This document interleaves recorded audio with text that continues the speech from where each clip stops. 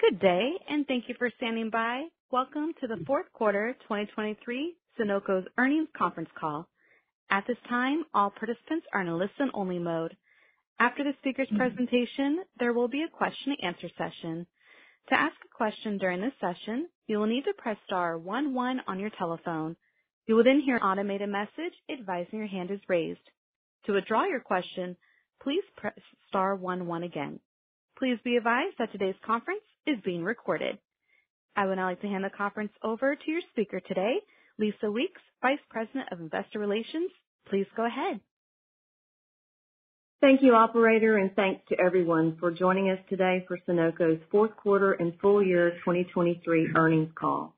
Joining me this morning are Howard Coker, President and CEO, Rob Dillard, Chief Financial Officer, and Rodger Fuller, Chief Operating Officer. Last evening, we issued a news release highlighting our financial performance for the fourth quarter and full year, and we prepared a presentation that we will reference during this call. The press release and presentation are available online under the Investor Relations section of our website. As a reminder, during today's call, we will discuss a number of forward-looking statements based on current expectations, estimates, and projections. These statements are not guarantees of future performance and are subject to certain risks and uncertainties. Therefore, actual results may differ materially. Please take a moment to review the forward-looking statements on page two of the presentation. Additionally, today's presentation includes the use of non-GAAP financial measures, which management believes provides useful information to investors about the company's financial condition and results of operations. Further information about the company's use of non-GAAP financial measures, including definitions as well as reconciliations to GAAP measures, is available under the Investor Relations section of our website.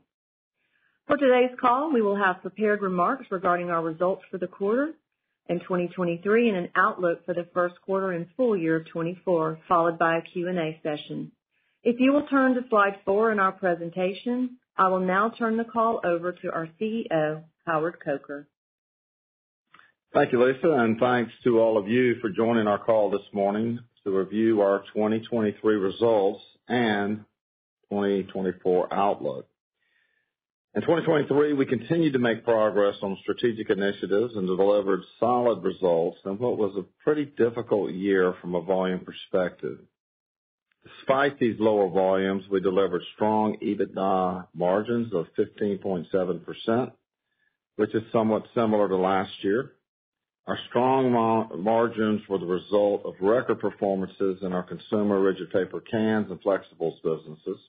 On the industrial side, despite volume levels similar to 2008, our team delivered record profit margins through diligent cost management throughout the paper ecosystem. Our adjusted earnings of $5.26 were within our guidance range for the year, with intentional focus on working capital, we generated record operating cash flow of $883 million and free cash flow of $600 million for the year.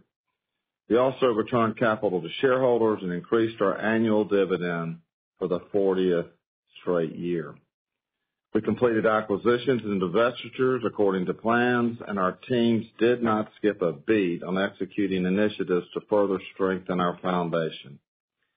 I want to close 2023 by thanking this incredible team of Sonoco for their resiliency and dedication throughout the year. Certainly, the global economic and external factors did not make this an easy year at all, but we did not stand still, and we delivered the second-best annual financial performance in the company's 125-year history. I'm grateful to work alongside these great people of Sonoco, as well as our customers and supplier partners, and we continue to look to the future with optimism. And with that, I'm going to turn the call over to Rob to cover our financial results and outlook. Rob? Thanks, Howard. I'm pleased to present the fourth quarter and full year 2023 financial results starting on page six of this presentation.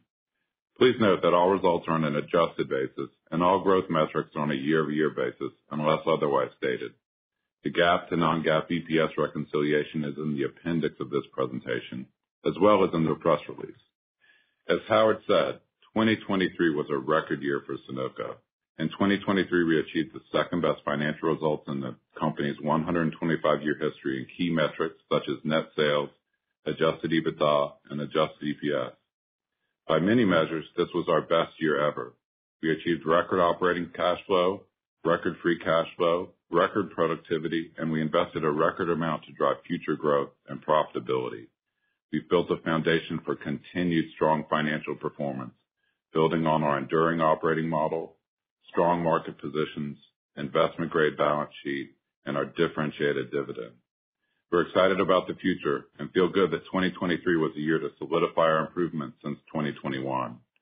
Full year 2023 net sales decreased to 6.78 billion due to the volumes caused from destocking in consumer and an elongated cycle in industrial. While these factors impacted year-over-year results, we grew net sales at a 10% compounded annual growth rate since 2021 due to strategic pricing, new product wins, and acquisitions.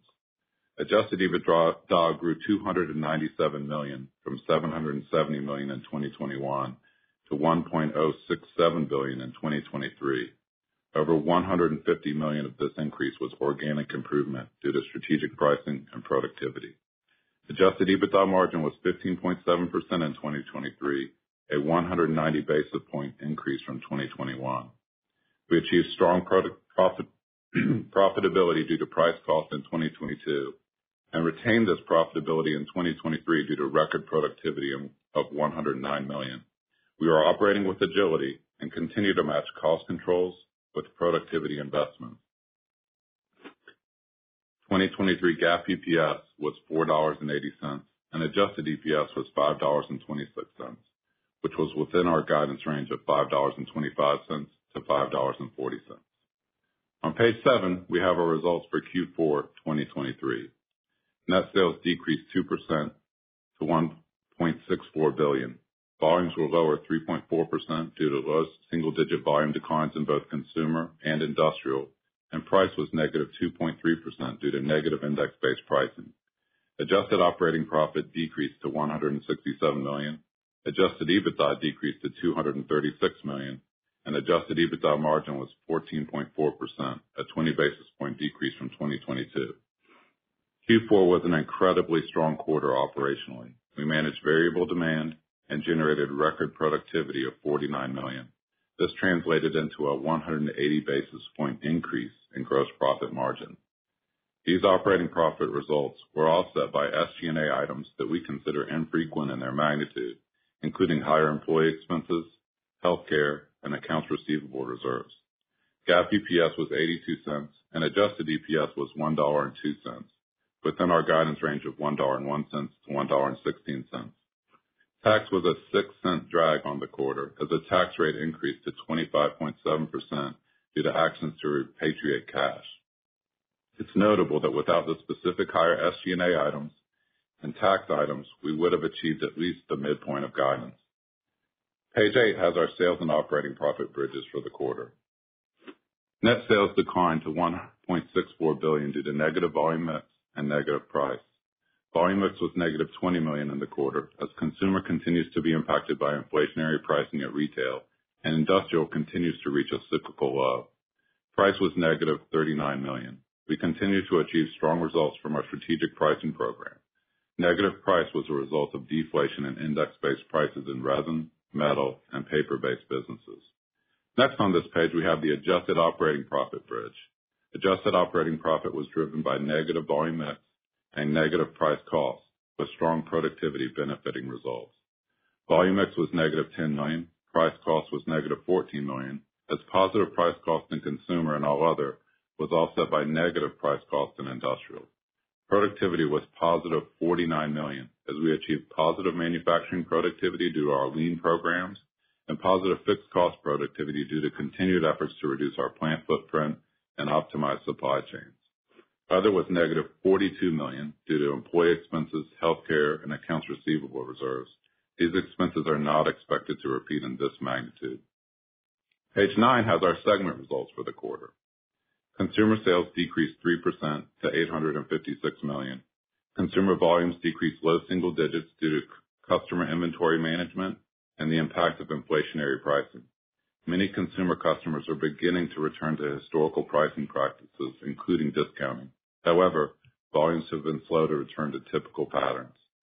Rigid paper container sales declined low single digits due to mid-single-digit volume declines, offsetting positive price. Flexible sales were flat as new customer gains offset low legacy customer volumes. Metal packaging sales decreased mid-single digits due to low single-digit volume declines and negative index-based price actions. Demand from our core customers in metal packaging has strengthened, but overall demand declined due to anticipated tinplate-based price reductions in 2024. Consumer operating profit decreased to 83 million, as 23 million of productivity and 17 million of price cost was offset by volume mix and SG&A, a meaningful component of which we do not expect to repeat in this magnitude. Consumer operating profit margin was flat at 9.7%. Industrial sales decreased less than 1% to 593 million. Industrial volumes decreased low single digits due to lower demand in most key markets and geographies. Industrial prices decreased mid-single digits due to index-based pricing action. We continue to achieve strategic pricing, but we're impacted by declining paper indices and increasing OCC. OCC increased to $92 per ton from $38 per ton in 2022. Industrial operating profit decreased to 62 million due to 36 million of negative price cost, offsetting 20 million of productivity. Industrial operating profit margin remained at a historically strong 10.4%. We're protecting margins with strategic pricing and with cost actions to reduce fixed costs. The business is well positioned to benefit from a return to normalized volumes. All other sales decreased 7% to 187 million due to broad volume declines. All other operating profit increased to 22 million due to strong productivity and positive price cost. Moving to page 10. Our capital allocation framework aligns with our business strategy to drive value creation through earnings growth and improved margins. In the fourth quarter, we generated operating cash flow of 267 million. We invested 108 million of this cash in capital expenditures to fund our growth initiatives and improve margins. Results from these investments are translating into improved productivity and growth with new customers and new products. Further, we remain focused on increasing the dividend, which at present is $0.51 per share on a quarterly basis, or a 3.5% annualized yield based on our current share price. Next, we paid off $172 million of debt in the quarter and reduced our net debt to adjusted EBITDA to 2.8x. We'll continue to be disciplined and improve our liquidity and access to capital. This is key to our strategy as we continue to have a proactive M&A strategy focused on executing the right deals based on strategic fit, scalability, financial profile, and cultural fit. We are being disciplined in a disrupted M&A market, and we'll do the right acquisitions and divestitures at the right time for us. Page 11 has our guidance for Q1 and full year 2024. Guidance for 2024 adjusted EPS is $5.10-$5.40. This guidance is based on low single-digit volume growth. Consumer volumes are expected to grow low single digits, while industrial volumes are expected to experience only limited recovery. Price cost is expected to be meaningfully negative due to contractual resets in consumer and the impact of timing and pricing lags in industrial. Another meaningful input to guidance is a $32 million increase in depreciation. We expect to grow adjusted EBITDA in 2024 and are guiding to a range of $1.05 billion-$1.1 billion.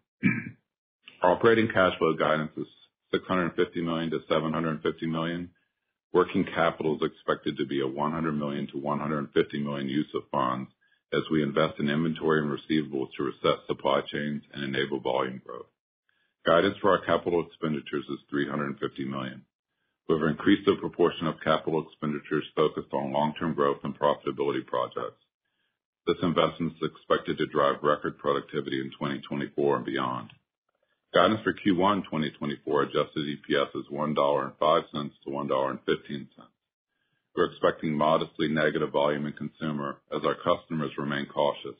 Consumer price cost is expected to be negative due to contract pricing resets. Industrial volumes are not expected to improve in Q1. Industrial price trends are improving, but price cost is expected to be meaningfully negative on a year-over-year basis due to last year's low OCC comparative and last year's higher tan bending chip comparative. Now Rodger will further discuss the outlook for the business. Hey, thanks, Rob. Uh, if you'll please turn to slide 12 for our view of segment performance drivers in 2024. Let me start with our first quarter outlook. In the consumer segment, we expect volumes to be up sequentially over the fourth quarter, but basically flat year-over-year from continued slower consumer spending due to retail price inflation. In rigid paper containers, we see volume is slightly down in North America versus a strong start last year, flat in Europe, and some nice year-over-year sales growth in the rest of the world from new product launches and our expanded capacity in South America and Asia. Organic flexible volumes are projected to be flat to down slightly due to continued softness in our base soft baked goods and confection business, but aided in the first quarter from the benefit of the Inapel acquisition in Brazil. In our Metalpack business, we did see recovery of our steel aerosol business in the fourth quarter, offset by some softness in food. In the first quarter of 2023, we expect low to mid-single digit increases in both food and aerosol metal cans. In the industrial segment, volumes are up sequentially from last quarter, but down low single digits year-over-year, with weakness primarily in Europe and Asia, as many of our end markets are tied to consumer staple and durable spending and inflationary factors that have slowed spending. We do expect higher paper mill utilization in the first quarter in our global paper system, driven primarily in North America. During the first quarter, there will be an outsized impact from negative price costs as input costs continue to rise and the timing of pricing updates lag. We expect the impact of negative price costs to improve over Q1 levels as we move throughout the year. Productivity remains strong as our team's effectively managing costs throughout our mill and converting systems. In the all other segment, volumes continue to remain soft, with price cost offsetting some impact of the lower volumes. Now turning to the full year 2024 guidance. We expect consumer volumes to be up low single digits and productivity to remain strong. We're anticipating relatively stable material price pricing and supply chain performance, but do expect consumer price costs for the year to be negative from contractual pricing resets, somewhat offset by productivity. In industrial, we're not projecting volume recovery in the first half of the year. We also expect price costs to remain negative from index-based pricing and higher input costs, which will be weighted to the first half of the year. As you know, we've announced price increases in North America on both our URB paper and converted products effective February 1st, and these increases are progressing well. The team continues to do an excellent job of expense management, and we expect productivity and manufacturing efficiencies will offset negative volume impacts. And lastly, in all other, we anticipate fairly stable demand across these businesses and good productivity to continue throughout the year. So overall, we remain, I believe, appropriately conservative on volume recovery across the segments with good productivity and cost control in place until we see volume recover. With that, back to you, Howard. Great. Thanks, Rodger. As I stated in my opening remarks, we're not standing still as we progress a robust set of plans and initiatives across the enterprise. And I thought I'd just share a few of those uh, with you. First, on the divestiture and closure front, we continue to execute our portfolio transition and footprint optimization activities. Last week, we announced the closure of our Sumner, Washington URB uh, paper mill. This was the oldest mill in Sonoco's North American network, and the cost to recapitalize was just simply not feasible. We're moving tons to lower cost mills in the network. We've owned Sumner for over 40 years and are extremely grateful for the support of this team through these years. We also announced the expected sale of our Protective Solutions business from our all other category or segment, which should close in the first half of 2024. This has been a great business for Sonoco with great leadership team. We know their knowledge and skills will serve them well into the future. As we continue our portfolio resolution, we remain laser focused on simplification and the alignment and fit to what businesses remain in our core. Secondly, we're pleased to announce that we were recognized by Kellanova for designing, manufacturing, and commercializing a paper bottom end for our rigid paper cans for Pringles to achieve sustainable and recyclable initiatives in Europe. This was a multi-year and a true partnership effort. We're pleased with the acceptance of our innovative uh package design in the marketplace, and we look forward to sharing more about this next week in our Investor Day. In December, we were also pleased to announce the acquisition of Inapel, one of the leading flexible packaging companies based in Brazil. This is a strategic move to expand capacity for growing demand that we are feeling in Brazil, where Sonoco is now the number two in in this market. We welcome the Inapel team and know that our aligned culture, values, and technical capabilities make this a winning combination. We've also taken steps this year to further align our flexible and thermoforming businesses into one larger scaled platform. We will be providing more details on this uh, next step in our portfolio next week. In summary, I'd just uh, like to leave you that Sonoco continues steady performance across our businesses. We wish volumes were better, but we are well-positioned and ready to take advantage of incremental demand upticks across the portfolio. Now, if you'll turn to slide 15, I will wrap things up by saying we're looking forward to our Investor Day uh one week from today in New York in February. Oh, what is the date of the Investor Day? February 22nd. Next week. During this meeting, we will provide updates on our transformation, operations, our business unit plans, and share thoughts on our longer-term financial outlook. We look forward to hosting you live or virtually next week. But at this time, I'm more than happy, we are more than happy to answer any questions that you may have. I'll turn it back over to the operator. As a reminder, to ask a question, please press star one one on your telephone and wait for your name to be announced. To withdraw your question, please press star one one again. Please stand by while we compile the Q&A roster.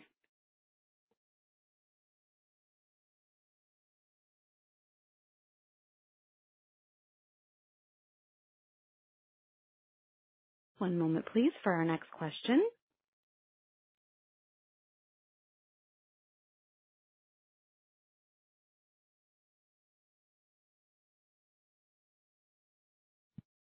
And our first question comes from George Staphos with Bank of America Securities. Your line is open. Hi. Thanks very much. Uh, good morning, everybody. Uh, thanks for the details. Uh, I'll ask three questions. First question related to guidance. Can you talk through what is baked in for price cost for the year, recognizing there are no guarantees in life, and how much of the URB and converted product increases in industrial are baked into that guidance? Uh, relatedly, what is the effect of the divestiture of Protective Solutions within all other relative uh, to your guidance? And then last uh, from me, Howard, one, I know you're going to talk more about it next week, but why the integration of flexibles with thermoforming? Recognizing they're plastic-based, uh, they are you know, somewhat different uh, business processes. And you know, what should we have baked in for productivity from that and broadly for the year? Thank you. Great. Thanks, George. Um, I'll uh, turn over the more financial related to um, to Rob. Yes, we'll we'll talk in more detail next week about the combination, I think you'll see um, the rationale and why we view this as an obvious uh, um, combine of the two. Um, just at a very high level, I can just say that uh, synergistically, it uh, makes a lot of sense. And then if you look at the markets that we serve and the customers we share, and there's there's more beyond that. So I'm going to leave that where where it is, and we'll get into that one next week. Uh, Rob, you want to talk about price cost and Yeah, George, that's a good question because price cost is going to be a meaningful driver for profitability or a meaningful factor for profitability in 2024. Um, I'd say in Q1, we're anticipating that number to be you know, between $0.50 and $0.55 of drag. You know, We've said previously that industrial was going to have $35 million of price cost in Q1, and we're expecting to see that. Um, to your point on URB and price recovery there, you know, we have continued to see um, OCC increase. Um, Tan bending chip has kind of held constant. We're feeling really good about how that price is translating through the market, but that's something that actually takes a fair amount of time to really translate through to the P&L, so there's a bit of a drag there. Um, overall, we do think that industrial price costs will continue to be negative going into the second quarter, um, and we're hopeful for some opportunity in the second half of the year. Okay. And then just on the impact of Protective. Yeah, on Protective. Yeah. Protective, um, we haven't closed the deal. We're expecting to close. We have a great counterparty there. We feel really good about that tran that transaction. On a on a gross basis, that that that divestiture would be $0.10 dilutive to EPS on a on a full year basis. Um so we are expecting to close that by the end of Q1, and have some visibility to that, and it's not in the $5.25 of guidance. Okay. And the productivity for the year? Productivity of the year, we had a great year this year. Obviously, we continue to invest behind it. We see we've got a better path forward this year than we did last year, I would say. So we're expecting to have another record year. Thank you very much. Our next question comes from the line of Anthony Pettinari with Citi. Your line is open. Uh, good morning. Um, morning. Good morning. You're expecting a consumer volume growth in, I think, the mid-single digit to high single digit range, uh, quarter-over-quarter in 1Q. I'm just wondering, is it possible to maybe parse that out between... And does that just reflect sort of typical seasonality, or is there some end market demand improvement or deterioration or any destocking or anything?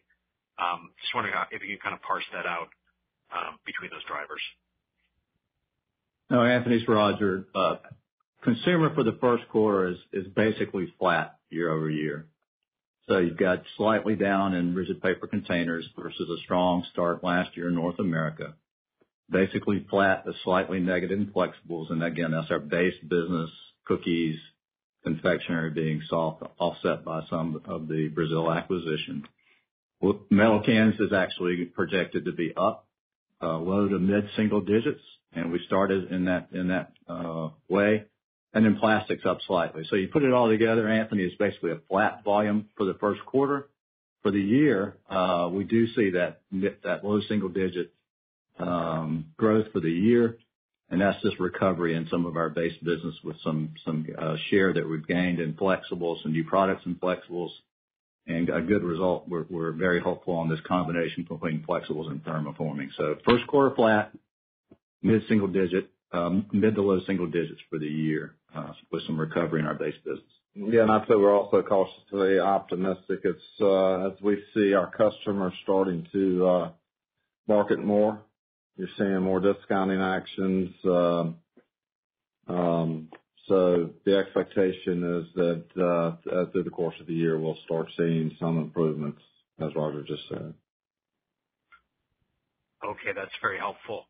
Um, in Metalpack, I'm sorry if I missed this, but would you expect full year volumes to be flattish or maybe slightly up or slightly down?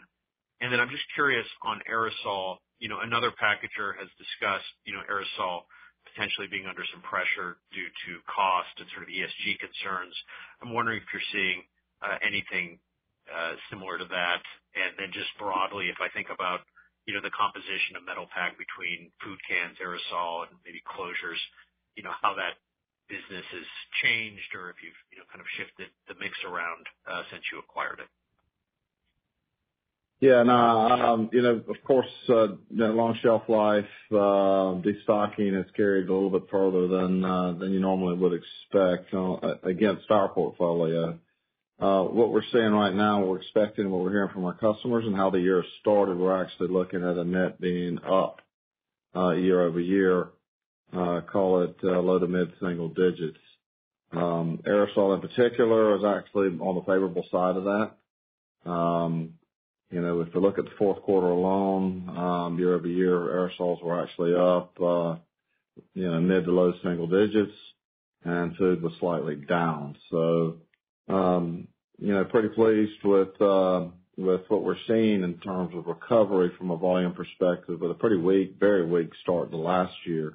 But uh very, very understandable, uh again, considering the long shelf life associated with um with these products. So pretty bullish about volume recoveries as we kind of start the year, as we finish out January, and as we look into next year, and as we finished last year Um, in the fourth quarter. Okay. That's very helpful. I'll turn it over. Our next question comes from the line of Ghansham Panjabi with Baird. Your line is open. Yeah, thanks. Uh, good morning, everybody. Um, I guess going back to the industrial segment, you know, looking at the margins in the fourth quarter, uh, this was the first quarter of year-over-year margin decline since the first quarter of 2021. Just curious your thoughts on the evolution from here. And you know, I know there's a lot going on with OCC and, you know, just the index-based pricing pass-through, et cetera. I would just love to hear your thoughts as it relates to 2024. Ghansham, it's Rodger. As we look at the margins for the uh, first quarter industrial, it's basically flat to the fourth quarter. Um, we are seeing, as we've already said, this will be our uh, largest impact, negative impact on price costs, but We are also seeing recovery in our in our paper mill system, primarily in North America. Our global URB system ran about 87% capacity in Q4, but our North American uh, URB capacity was close to 92% in Q4, and we expect that to move up into the mid-90s in uh, Q1 with increased demand as well as the move we made on the Sumner mill. So we expect, yes, negative price cost, but we also expect better productivity through capacity utilization in our biggest part of our URB system, which is which is North America.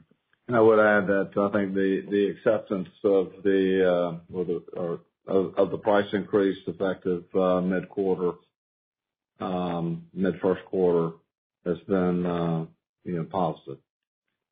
Yeah. I think, as you know, we're about 60% weighted to the RISI tan bending index, about 20% weighted to OCC and 20% open market. So, you know, obviously we're going after the open market now. But as Rob mentioned, the 60% uh, weighted to tab bending. Tan. Tan bending shift uh, will impact more the second quarter than the first. Okay, that's helpful. And then, you know, back to the consumer business, just the, you know, volume weakness, uh, being persistent, um, over the last several quarters. It's not just you, it's, the peer group in terms of destocking, et cetera, that's impacted the um, the supply chain. Um, you know, can you just sort of characterize the competitive backdrop uh, as we kind of progress through this lower for longer sort of volume weakness uh, paradigm? And you know, you have a bunch of different businesses within consumer and, just would love to hear your thoughts as it relates to just the competitive backdrop in context of an industry that's typically very competitive anyway. Yeah, I mean, we feel really good. I mean, you know, from a share position perspective, I'm not aware of any material share loss. In fact, I've probably got a longer list of share gains.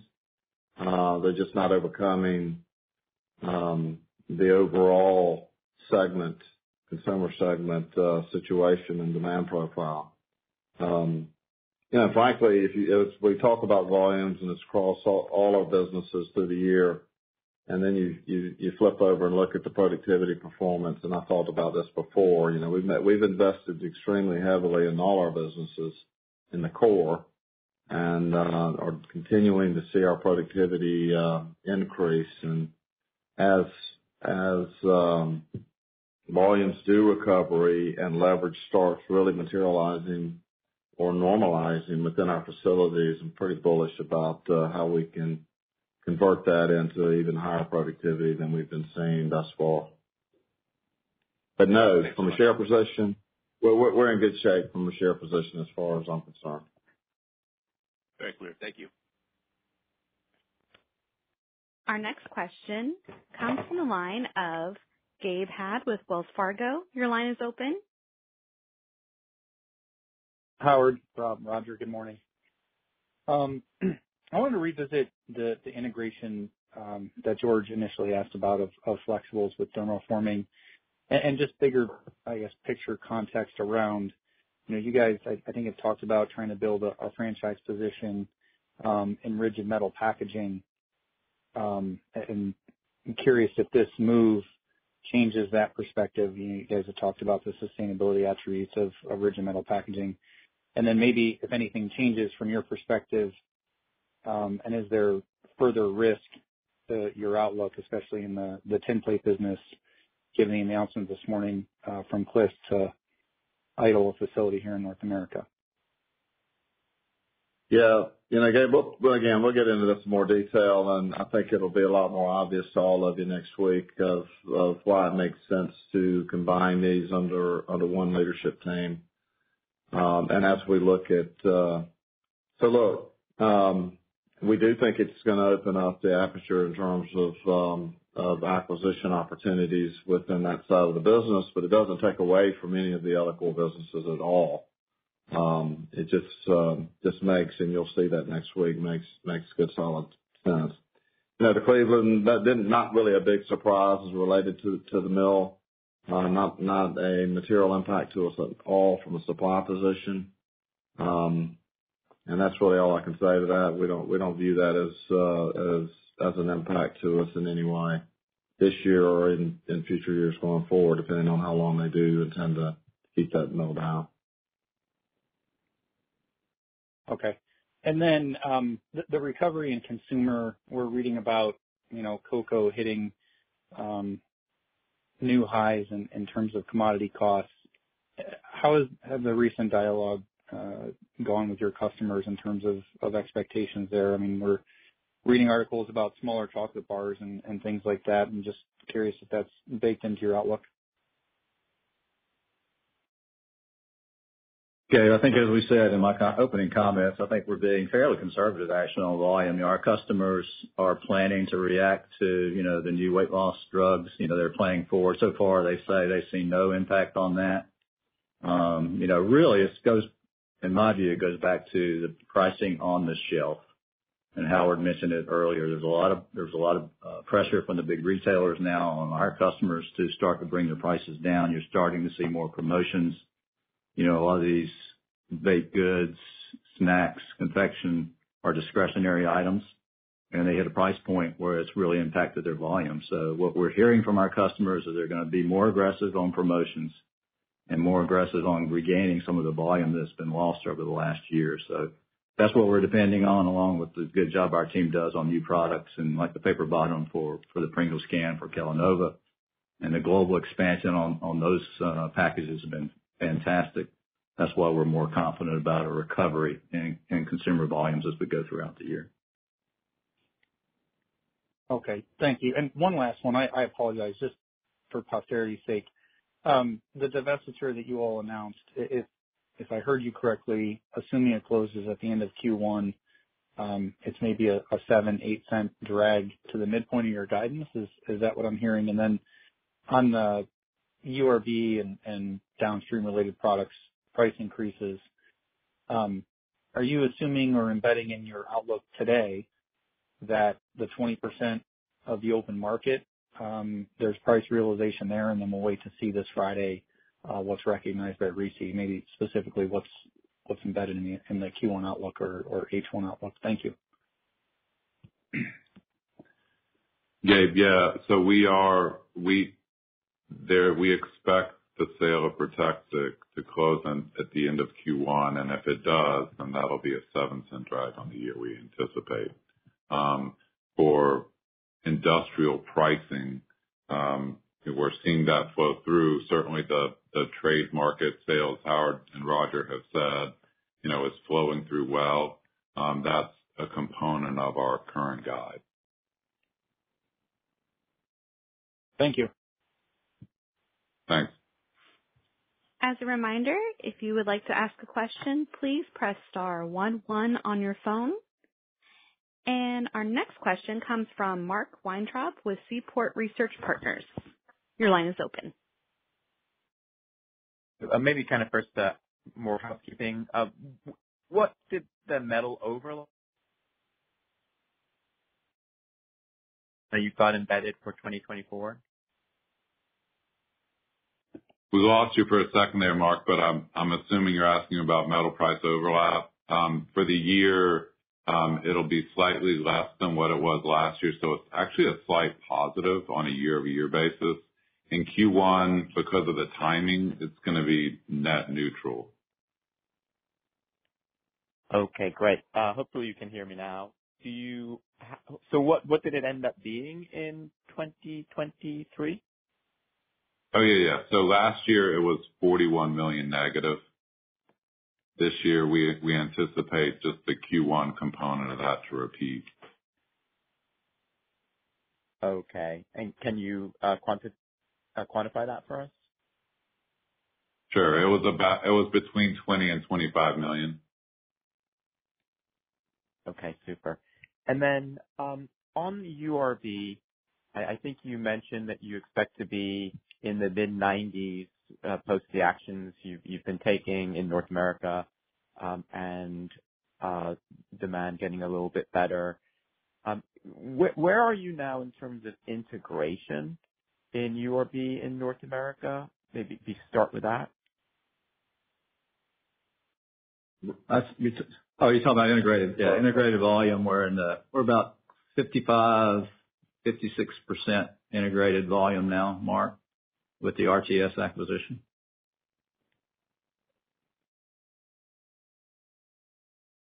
And as a reminder, if you would like to ask a question, please press star one one on your phone. Again, that is star one one. One moment, please.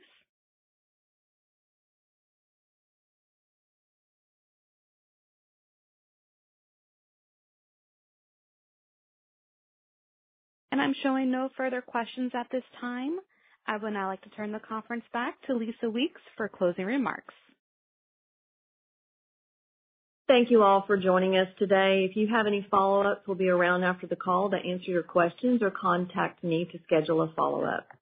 As Howard stated, we look forward to hosting you at our Investor and Analyst Day in New York next week on February 22nd. This will be an in-person event and a webcast will also be available. Registration details are on our website. We also look forward to seeing you on the road at our planned conferences and events in the coming months, and uh, we'll talk to you again in May when we report our first quarter results. Thanks to everyone, and have a great day. And this concludes today's conference call. Thank you all for participating. You may now disconnect.